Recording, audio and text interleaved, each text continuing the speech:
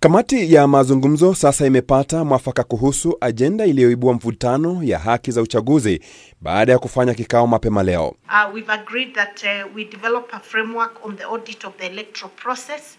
Uh, that is going to be done in, in the next two weeks. Kamati imeafikia jopo la kuteua makamishena wa IEBC na mwenyekiti wake libuniwe upya na idadi iongezwa kutoka saba hadi tisa.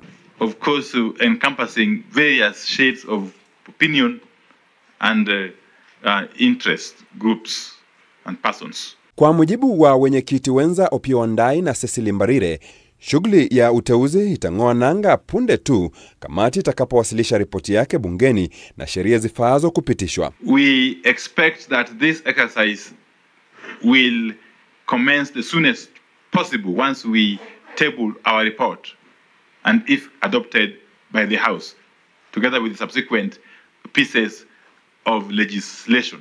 Kwa sasa wanakamati wanajiandaa kuanza shughuli ya kuandaa ripoti kuanzia tarehe 23 mwezi huu, ila wamesema watahitaji siku 30 zaidi kukamilisha shughuli yake. in which uh, retreat we hope that we'll be able to clear on all the issues and come up with a report that we can then present to, to the relevant uh, persons and uh, therefore hopefully be complete with our work. Kamati hiyo ilikuwa na siku 60 za kukamilisha majukumu yake. We feel we are now at the very last phase that is very critical and we must do a good job for this country.